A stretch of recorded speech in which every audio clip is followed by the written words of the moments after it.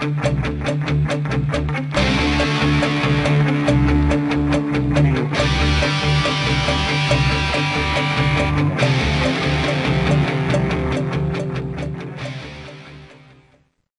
you want to learn more about implementing OSPF over GRE over IPsec, just sign up for our advanced Junos security course. For full details, just visit juniper.net slash courses. Now here's your learning byte. Hi, my name is Zach Gibbs, and I am a content developer within Education Services inside of Juniper Networks. And today we will be discussing the implementing OSPF over GRE over IPsec learning byte. Alright, so at this point you might be asking yourself, why use OSPF over GRE over IPsec? What's the point? The first major point is we want to secure traffic. We want to secure that OSPF traffic between the OSPF routers, and we want to secure the traffic between hosts. Now you might be wondering, well, IPsec does that. Why do we need GRE? Well, Juniper supports routing protocols over route-based IPsec tunnels. Not all other vendors support this, so we have to use a GRE interface with a GRE tunnel and do our OSPF routing over that GRE tunnel. Alright, so let's jump right to our example. First of all, we have user 1 on the left who needs to communicate with the FTP server on the right. Then user 1 is connected to SRX1 and we can see the IP addressing and interfaces associated with SRX1. Then SRX1 connects through the internet to a non-Juniper OSPF router. And we will need to have a GRE over IPsec VPN tunnel between those two routers because the non-Juniper router does not support routing over route-based VPNs. However, it does support routing over GRE tunnels. And it's already configured for OSPF over GRE over IPsec. So what we're going to show today is how to configure SRX1, which is obviously a Junos device, to use OSPF over GRE over IPsec. And one last thing I want to point out here is the GRE information that we have here on the slide. We are going to be using a local IP address of 10.5.5.1. The source of the tunnel will be 172.5.5.1 and the destination will be 172.5.5.2. So let's jump to the CLI. Here's the CLI. We have SRX1 and user1. So the first thing we want to do is to configure the IPsec tunnel. We'll configure the ST0 interface to begin with, and something I do want to point out here is that the ST0 interface will actually be the source of the GRE tunnel. So we're going to use that same IP address.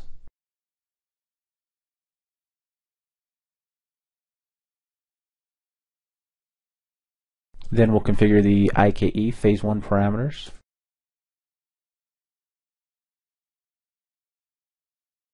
Just give it the compatible proposal set. Give it a pre-shared key that will match the other side. Here we're going to use Juniper dash 123. Excuse me, Juniper 123 is what I need. Then we're going to configure the gateway. Then we'll set the policy or the gateway to use the policy we just created. Then we'll set the uh, remote address for the, the non-Juniper device. And finally, we'll set the external interface. GigE002 is going to be an external interface that we can see there in the diagram. And so we're done with that. Next, we need to uh, edit the IPsec parameters. We'll set a policy. Call this IPsec-1. And we'll use the proposal set of compatible. Again you know this is a non-Junos device we're connecting to so a compatible proposal set or the compatible proposal set will probably give us the best results.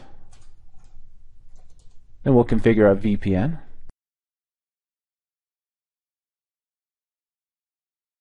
the first thing we'll do is set a bind interface. That ST0 interface we configured earlier. Then we'll set to establish tunnels immediately so we can see the tunnel come up right away. We don't want to be sitting waiting around. Then we'll set the IKE parameters. And that should take care of it for us.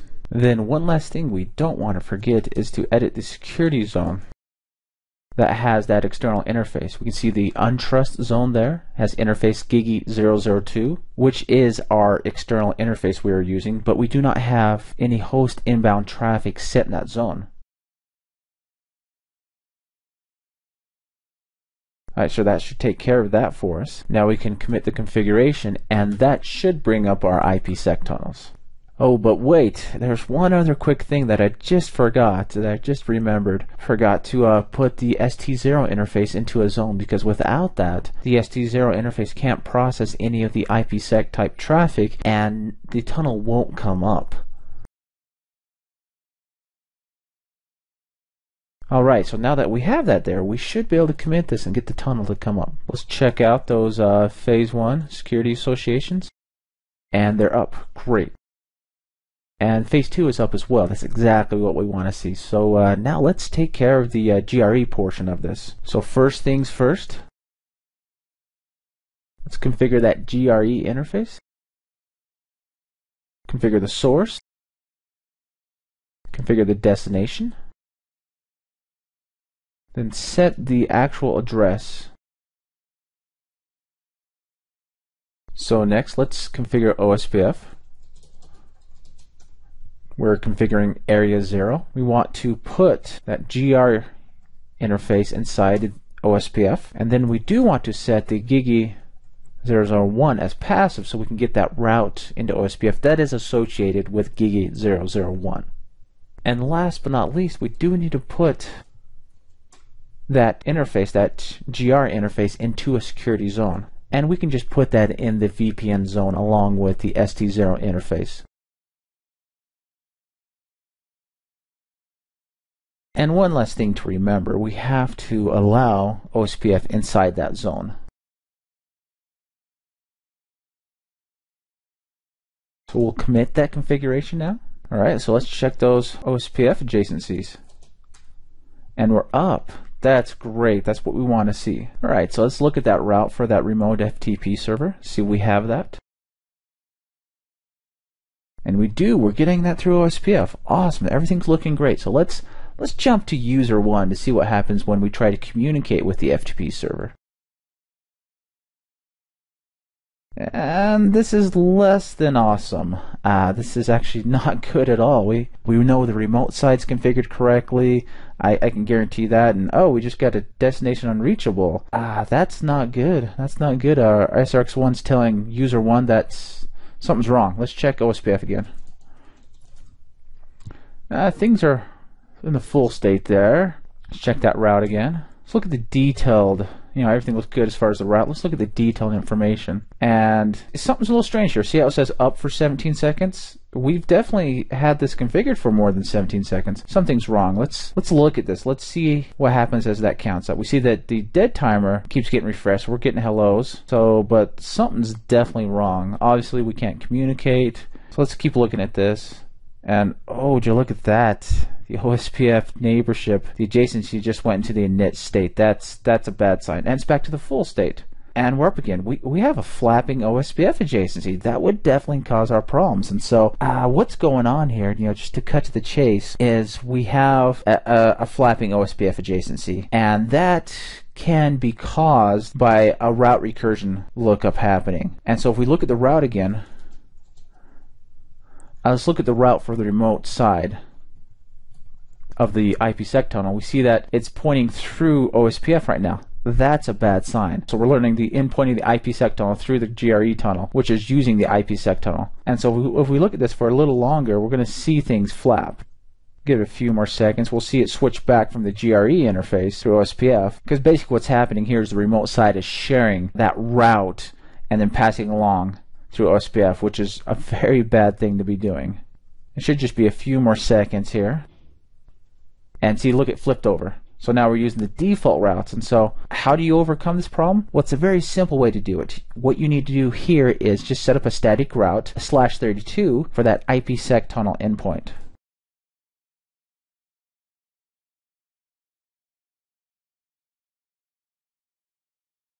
Let's commit that configuration. That should take care of our recursion problems that we're having.